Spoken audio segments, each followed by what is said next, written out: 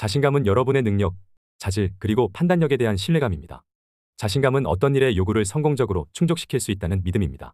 그것은 여러분의 삶을 통제할 수 있는 능력에 대한 일반적인 신뢰감을 나타낼 수도 있고 더 구체적인 상황을 나타낼 수도 있습니다. 예를 들어 특정 전문 분야에서는 자신감이 높지만 다른 분야에서는 자신감이 떨어질 수 있습니다. 연구는 자신감이 건강과 심리적 행복에 중요하다는 것을 시사합니다. 건강한 수준의 자신감을 갖는 것은 여러분이 개인적이고 직업적인 삶에서 더 성공적이 되도록 도울 수 있습니다. 예를 들어 연구는 더 자신감 있는 사람들이 더 학업적으로 성취하는 경향이 있다는 것을 발견했습니다. 자신감의 수준은 심지어 여러분이 다른 사람들에게 자신을 표현하는 방법에도 영향을 미칩니다. 다행히도 여러분이 자신감을 높일 수 있는 몇 가지 방법이 있습니다. 여러분이 특정한 분야에 대한 자신감이 부족하거나 어떤 것에 대해 자신감을 갖기 위해 고군분투하는 것이든 효과적으로 자신감을 높이는 아홉 가지 조언은 여러분이 더 자신감을 갖도록 도와줄 수 있습니다. 1. 다른 사람들과 자신을 비교하는 것을 멈추세요. 당신은 인스타그램이나 유튜브에서 당신이 팔로우하는 사람들과 당신의 외모를 비교합니까? 아니면 당신의 월급을 친구가 버는 것과 비교할 수도 있습니다. 사회적 비교 이론은 비교를 하는 것이 자연스럽다고 설명합니다. 하지만 그것은 여러분의 자신감을 높이는 데 도움이 되지 않습니다.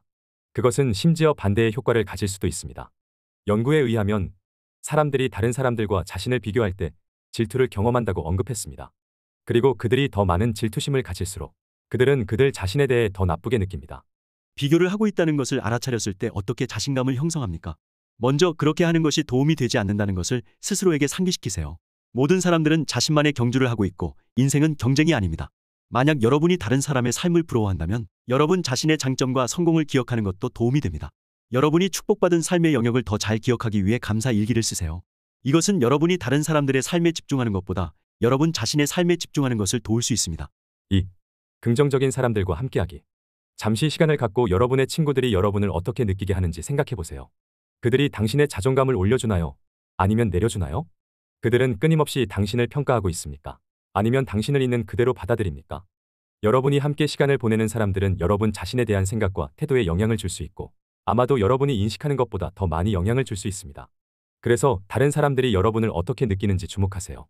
만약 여러분이 특정한 사람과 어울린 후에 여러분 자신에 대해 기분이 나쁘다면 작별 인사를 해야 할 때일지도 모릅니다.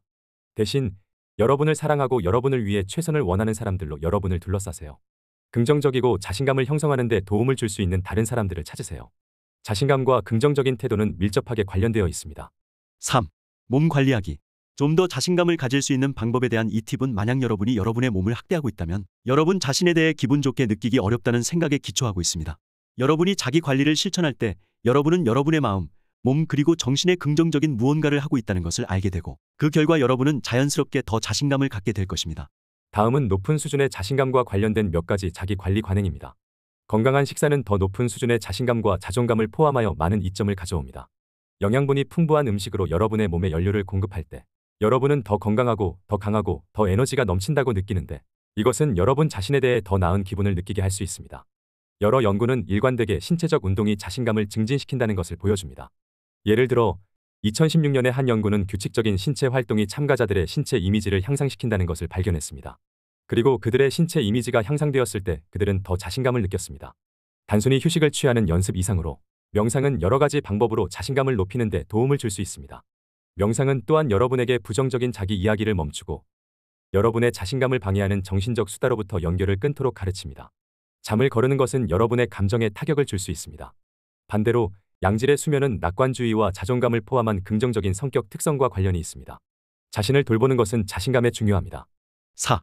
자신에게 친절하기. 자기 연민은 여러분이 실수를 하거나 실패를 하거나 좌절을 경험할 때 여러분 자신을 친절하게 대하는 것을 포함합니다.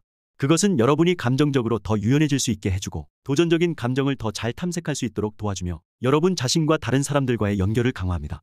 5. 긍정적인 셀프 토크 연습.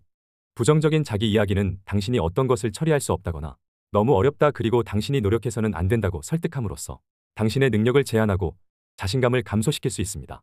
다음번에 여러분이 회의에서 목소리를 낼 일이 없거나 몸이 너무 안 좋아서 운동을 할 수 없다고 생각하기 시작하면 여러분의 생각이 항상 정확한 것은 아니라는 것을 스스로에게 상기시키세요. 그런 다음 그러한 생각들을 더 긍정적인 자기 이야기로 바꾸는 방법을 찾으세요. 6. 여러분의 두려움에 맞서세요. 누군가에게 데이트 신청을 하거나 승진 신청을 하는 등의 일을 자신감이 생길 때까지 미루지 마세요. 이러한 상황에서 자신감을 쌓는 가장 좋은 방법 중 하나는 두려움의 정면으로 맞서는 것입니다.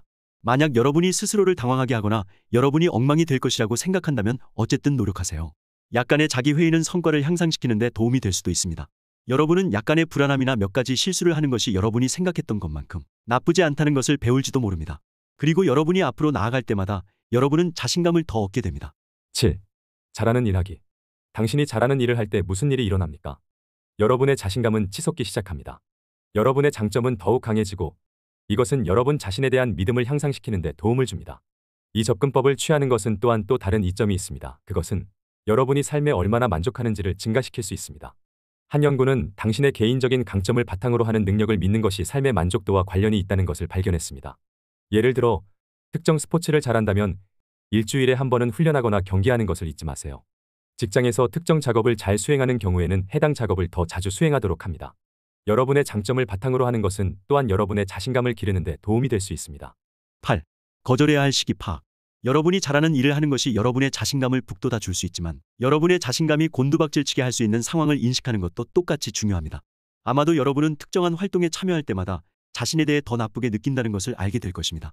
여러분의 자신감을 무너뜨리는 경향이 있는 활동들에 대해 아니라고 말하는 것은 괜찮습니다. 여러분의 한계를 알고 아니라고 고소하는 것은 잘못된 것이 아닙니다. 사회적 감정적 경계를 설정하는 것은 여러분이 심리적으로 더 안전하다고 느낄 수 있습니다. 그것은 또한 여러분이 통제력을 더 많이 느끼도록 도와줄 수 있습니다. 9. 현실적인 목표 설정. 목표를 추구하는 것은 종종 여러분이 무엇이 효과가 있는지 알아낼 때까지 여러 번 실패하는 것을 포함합니다. 답은 현실적인 목표를 세우는 데 있습니다. 높은 도달 목표를 설정하고 이를 달성하지 못하는 것은 신뢰 수준을 손상시키는 것으로 밝혀졌습니다.